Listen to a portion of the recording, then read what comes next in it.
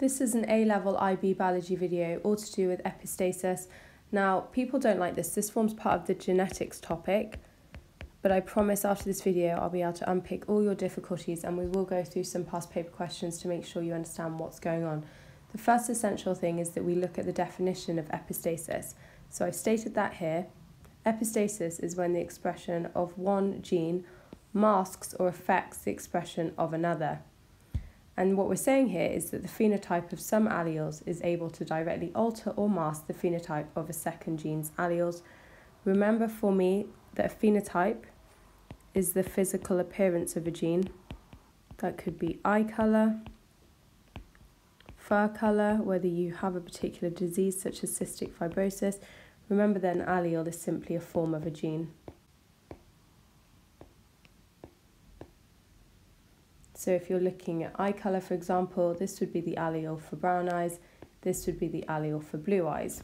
We're going to jump straight in by looking at an example. So there are two genes in mice that control fur colour. Genotypes uppercase A, uppercase A, or uppercase A, lowercase a, have black bands in their fur.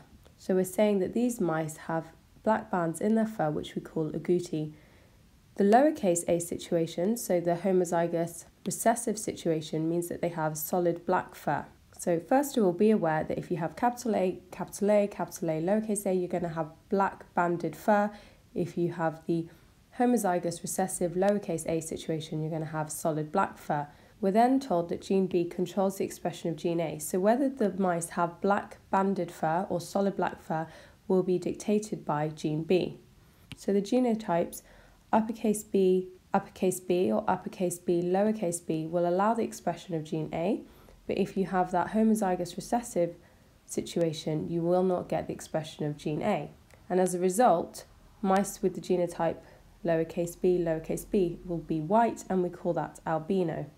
So if we look at some pictures to understand what's going on, first of all, we need to look at what's going on with gene B, because when we identify what's going on with gene B, we'll know what output of gene A will get. So we know that capital B, capital B, or capital B, lowercase b will allow that expression of gene A. So we've got that situation there, which means we get the expression of gene A. And we've been told here that if we allow that expression of gene A, then the mice are going to have black bands in their fur, and that's called agouti. I know it's a bit confusing because it doesn't look very black, but we have our agouti mouse here. Now with gene B, because again, we've been told here, these two genotypes will allow that expression of gene A. So we're allowing the expression of gene A, which in this situation is lowercase a, lowercase a. That means that we have a mouse with solid black fur as shown here. Lastly, because we've got lowercase b, lowercase b, we will not allow the expression of gene A. So it doesn't actually matter whether that mice was supposed to have, in the case here, agouti fur colouring, or in the case here, solid black, quite simply, neither of these genotypes will be expressed, and that's because that lowercase b has masked the expression of those genotypes, and that's why we have our albino mouse. Now let's look at a cross. So we're looking at two offspring of an agouti AABB mouse, and we're crossing it with an albino mouse. So let's look at the situation we know that we needed either a big B, small b, or big B, big B in order to allow the expression of the agouti genotype. So we've got our agouti mouse there. Obviously, all the gametes, sex cells produced will be capital A, capital B. We have our white mouse, and remember the only genotype which produces a white mouse will have lowercase a, lowercase a, lowercase b, lowercase b, because remember that will mask the A allele. We know that all our gametes are therefore going to be small a, small b. So fundamentally, our F1 phenotype, the first lot of offspring, must all be agouti. Why? Because they have the capital B, lowercase b, which means we express the capital A, lowercase a, which remember, looking at above from our key, is the agouti colouring. It now gets more complicated if we look at the gamete combination produced. Remember that these genes are unlinked. We haven't been told that they're linked, which means we get this combination where you can have one of four gamete combinations. Look at another video if you're unsure as to how I've done this. But now we're ready for our giant Punnett square in order to do the genetic cross. Just to remind you, if you have either capital B, lowercase b, or capital B, capital B, then no masking occurs. So if you have either capital A, capital A, or capital A, lowercase a, you're going to have an agouti mouse. What about if we had the homozygous recessive genotype with the capital B, lowercase b, or capital B, capital B, then you'd have your solid black mouse. Let's look at the final combination. So if we have that homozygous recessive genotype, we'd be masking our A gene. So it doesn't actually matter what combination of A's you had, you'd always end up with albino. And let's just make sure that checks out as we look at the table. So in our first cross, AB by AB, we end up with capital A, capital A, capital B, capital B. So let's just double check. There's our capital B, capital B. There's our capital A, capital A. And look, we have a agouti, which is shown by that tan colour. Moving on, capital A, capital A, capital B, lowercase b. That's that situation. Again, pushing out a agouti. Now let's double check this one capital A, capital A, lowercase b, lowercase b. So we're starting here, lowercase b, lowercase b, capital A, capital A. Look, albino, right, it's white, it is albino. Let's check one of the black ones. So lowercase a, lowercase a, capital B, capital B. There's your capital B, capital B. There's your lowercase a. Look, solid black, it works. So let's look at our phenotype ratio. We have 9 to 3 to 4, agouti, black, albino and you must be prepared to list all the different genotypes which account for them. So for example, for agouti, you can just pull them out of the table. So I'm just going along this top row here. I'm not going to do them all, it would take all day, but let's have a look at our blacks. So that's these three here. Let's look at our albinos. So it's these four here.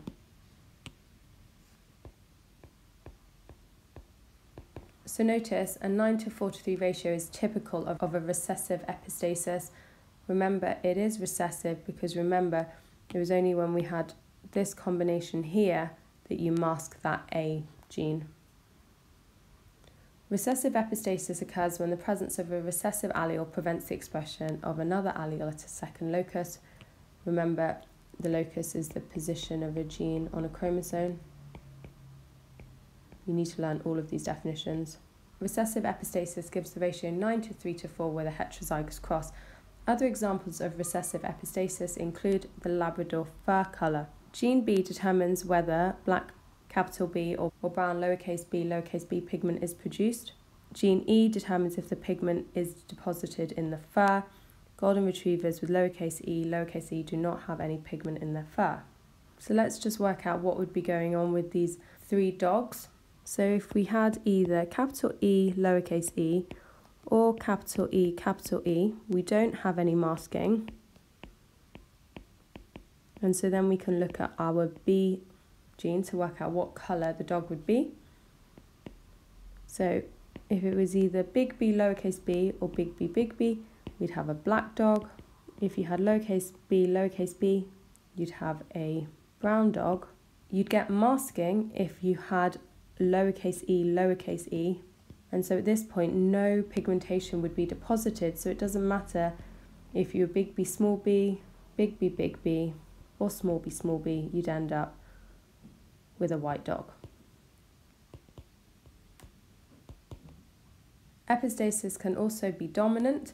Dominant epistasis is when the dominant allele at one locus completely masks the alleles at a second locus usually get a ratio of 12 to 3 to 1 with the heterozygous cross. And for example, the colour of the summer squash fruity is controlled by dominant epistasis. So the gene for white fruit is dominant and it masks the expression of the gene for yellow fruit and green fruit. So we'll look at a combination now. Let's make a note. So white fruit gene is dominant and it masks the gene for yellow fruit and the gene for green fruit. And so again, I like to show, before I even look at the outcome, let's just work out what's going on. So because that white gene is dominant, if you had either of these allele combinations, it doesn't actually matter what's going on with the G allele, you're going to end up with a white fruit. It's only when you've got a lowercase, lowercase w situation, then you have no masking whatsoever.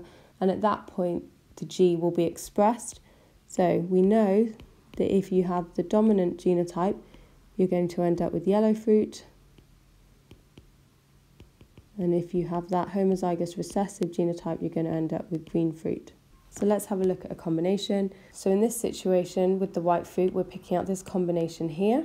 They've just given us an example and it's producing the white fruit. Let's look at the yellow fruit now. We know that we must have that lowercase w situation in order to prevent the masking. And in this situation, we have capital G, capital G, which is producing our yellow fruit. Let's look at our gamete combinations. And then because every single one of the F1 has this combination of alleles, we know that that is uppercase W, lowercase w, uppercase g, lowercase g, and therefore we have white fruit. So now we're doing a huge cross. We know that there'll be lots of gamete combinations. I'm just going to prove to you why this works. So we'll randomly pull out this example here. Capital W, lowercase w, capital G, lowercase g produces white fruit. Yes, we agree. Let's check this one here. Lowercase w, lowercase w, capital G, capital G, yellow fruit. Yes, it's yellow. Now let's check the green one down here. Lowercase w, lowercase w, lowercase g, lowercase g, green fruit. Yes, perfect. And so we have our phenotype ratio of 12 to 3 to 1, white, yellow, green. So that's an overview of epistasis. I'm going to now show you how it works in an exam setting and we're going to write lots of notes to ourselves to make sure we find it straightforward. So let's look at this past exam question now. In colour point Persian cats, interaction between two genes, B and B and D and D, causes colour of the face, ears, paws and tail. The dominant allele B gives a dark brown colour known as seal. The recessive allele B gives a light brown colour known as chocolate. The dominant allele D has no effect on coat colour, however, the presence of two copies of the recessive allele D changes the colour seal to blue and chocolate to lilac. So we know that we have an example of recessive epistasis here. State the name given to this type of genetic interaction, that is just epistasis. We know we're masking, so that's why it's epistasis. Suggest the possible genotypes of a seal colour point Persian cat. So now we're going to start making notes to ourselves. So we know that the dominant allele has no effect on coat colour, so we have no masking. And so if you have this combination or this combination, you're going to have a seal coloured cat.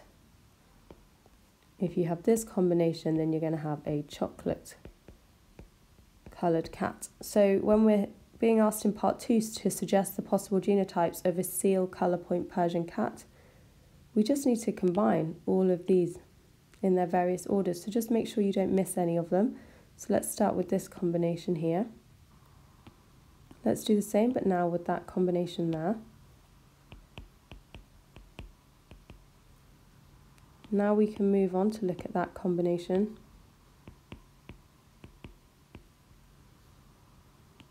And then lastly, this combination.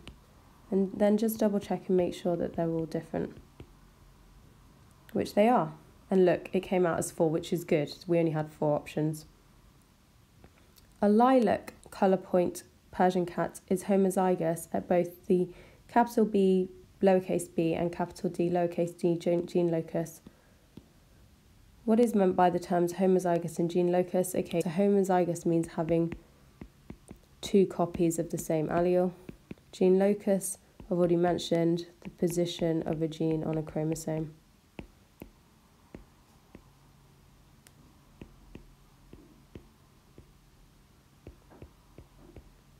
A cross was carried out between a seal cat and a lilac Persian cat. A Punnett square of the expected genotypes of the offspring is shown in Table 1.1.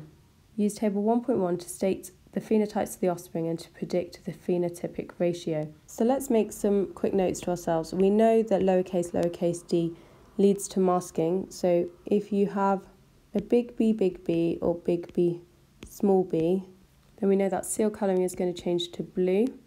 If we have small d, small d and small b, small b, then we know we're going to get that masking again. So we're going to have chocolate changing to lilac. we don't get any masking if we have any of these combinations of alleles. And so as a result, those cats will stay being seal and the lowercase b cats will stay being chocolate. So I had to make these notes to myself in order to help me answer this question. So now we're ready to answer the question. Look, we have a big B, small b, big D, small d. So here and here. So I know that that first cat will be seal. Let's look at this cat now. Big B, small b, small d, small d. So there's our small d, small d. Here's our big B, small b. So we know that our cat will be blue.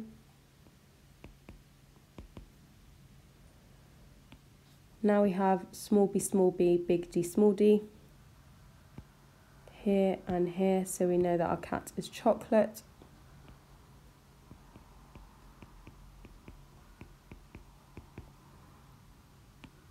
And then lastly, homozygous recessive genotypes. And that is here, so we're going to have a lilac cat. In terms of our phenotypic ratio, it's just 1 to 1 to 1 to 1.